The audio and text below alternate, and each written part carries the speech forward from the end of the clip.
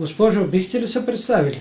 Да, казвам се Елза Венелинова Откъде сте вие? от Велико Търново. От Велико Търново.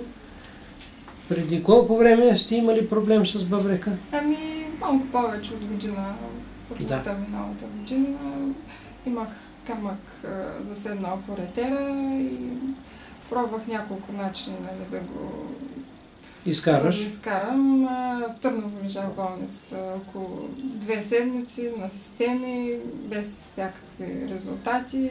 След това ми написаха направление в София за литотрипсия. За съжаление и там не ми помогнаха.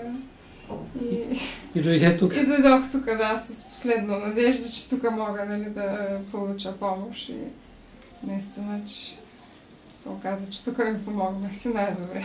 Дадохте едни шишенца. Да, три шишенца с а, някаква течност, която се разтваря в а, С лимонов лимони. Да, да. с лимонов сок и до седмица наистина изкарах камъка без проблем. От тогава не си имала проблем. Не.